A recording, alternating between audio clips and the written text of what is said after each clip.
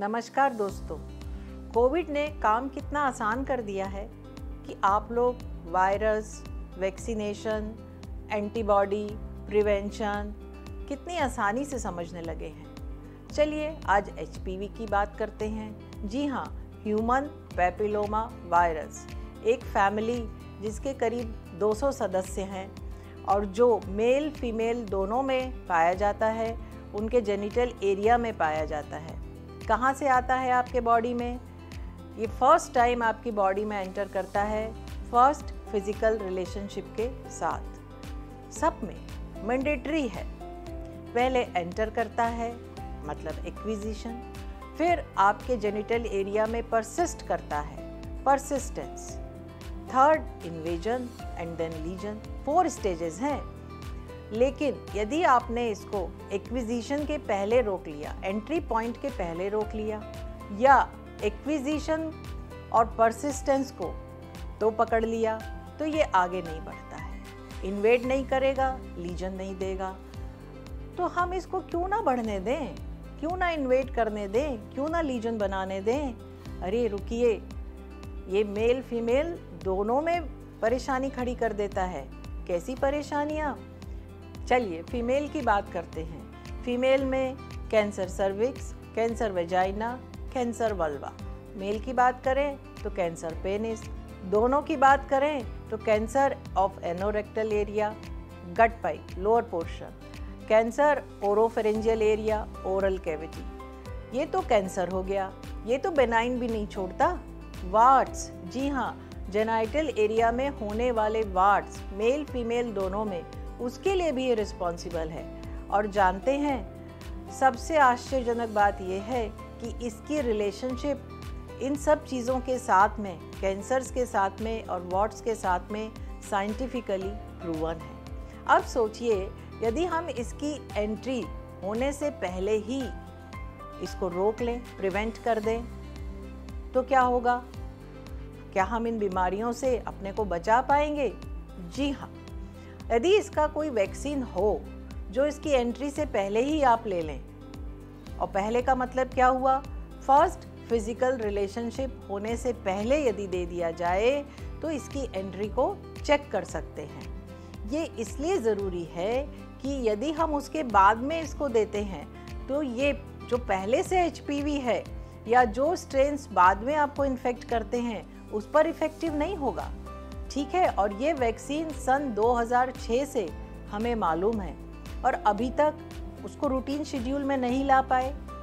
कब दें इसको?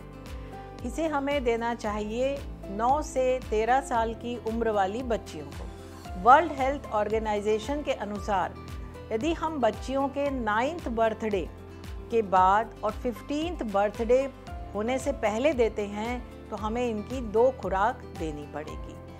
जो कि समझिए एक लगी, उसके छः महीने बाद दूसरी लगेगी। यदि दोनों के बीच का अंतराल पाँच महीने से कम होगा तो तीन खुराक लगेंगी।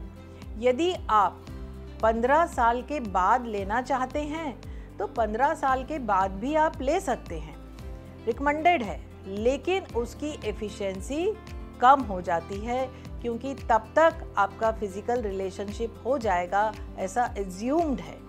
तो आप जब वैक्सीन लेते हैं तो उसकी एफिकेसी उसके लिए अफेक्ट होगी। एक बात और याद रखिए, ये जो वैक्सीन्स हैं, ये उन स्ट्रेंस के अगेंस्ट बनाए गए हैं, जिनको एक इटियोलॉजिकल फैक्टर कैंसर्स और वॉर्ड्स के लिए पाया गया है। यदि मैं आपको नंबर बताऊँ तो six eleven sixteen eighteen thirty one thirty three forty five fifty two fifty eight नौ हैं, देखिए। अब चलते हैं। यदि नौ स्ट्रेन्स के अगेंस्ट वैक्सीन है तो आप उसको क्या बोलेंगे? नैनोवेलेंट जो कि इंडिया में मिलता ही नहीं है कन्फ्यूज़न दूर हुआ। वो केवल यूएस में मिलता है और वहाँ पर केवल नैनोवेलेंट ही लगाया जाता है।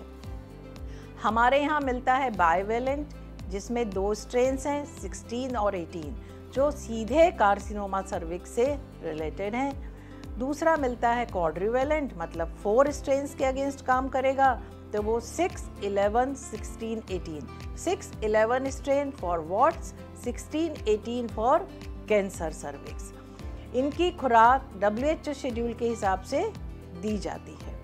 अब देखिए 2017 तक केवल 71 कंट्रीज़ ने इस वैक्सीन को अपने एडोलोसेंट वैक्सीन शेड्यूल में शामिल किया। हमारे यहाँ भी कोई नेशनल इम्यूनाइजेशन प्रोग्राम में ये इंक्लूडेड नहीं है। जबकि हम ये जानते हैं कि ये कार्सिनोमा सर्विक्स को 70 परसेंट प्रिवेंट कर सकता है। एनोरेक्टल कैंसर को 80 परसेंट प्रिवेंट कर सकता है और ओरोफेरेंजियल कैंसर को 90 परसेंट प्रिवेंट करता है। आइए हम भी चलें और इसको लगवाएँ। अपनी बेटी, अपनी बहन, अपनी फ्रेंड अपनी पत्नी। हमें क्या दिक्कतें आ रही हैं? इसे हम नहीं लगवा पा रहे, इसके लिए क्या चैलेंजेस हैं? इसके चैलेंजेस ये हैं कि एक बच्ची अपना डिसीज़न खुद नहीं ले सकती है। इनिबिशंस हैं। एक टैबू है कि ये सेक्सुअल एक्टिविटी से कनेक्टेड है। ऐसा बिल्कुल भी नहीं है। मैं सोचती हूँ यदि स्कूल्स एक मीडियम का काम करें, एक व्हीकल का काम करें और आगे आएँ तो शायद हमारे देश में भी इस वैक्सीनेशन का परसेंटेज हम मोर देन 90 परसेंट कर पाएँगे। मेरी आपसे यही रिक्वेस्ट है कि प्लीज़ आपके अड़ोस पड़ोस आपके घर, आपकी फैमिली में जो भी इसके लिए एलिजिबल है, उसको ये लगवाएँ। डॉक्टर की सलाह से लगेगा हॉस्पिटल में लगेगा ट्रेंड स्टाफ आपको लगाएगा। इसका कोई खास रिएक्शन नहीं होता है। इंट्रामस्कुलर अपर आर्म में लगता है डेल्टॉइड में लगता है। जैसे किसी भी इंजेक्शन के साथ हल्का सा पेन होता है या हल्की सी स्वेलिंग हो सकती है, बस उतना ही होता है। पर इसको हमेशा डॉक्टर के प्रिस्क्रिप्शन पर लिखवाएँ, डोजेस की डेट तय कराएँ और एक ट्रेंड स्टाफ से लगवाएँ। अपना और अपने बच्चों का, खुद का भविष्य सुरक्षित रखें। ये जानते हुए कि यदि आप 9 से 15 साल के बीच में लगवाती हैं तो प्रोटेक्शन, एफिशिएंसी कहीं ज़्यादा है।